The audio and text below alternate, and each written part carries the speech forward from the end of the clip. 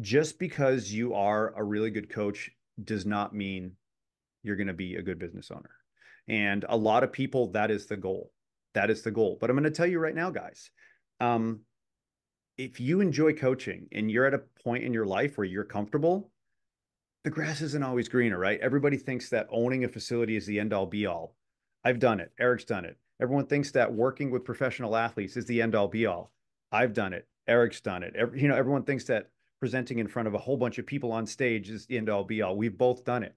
Guys, it's those are all cool things, but at the end of the day, um, your ability to coach, train, create systems, and find a way to see and help as many people as possible is what's gonna is what's gonna pay the bills.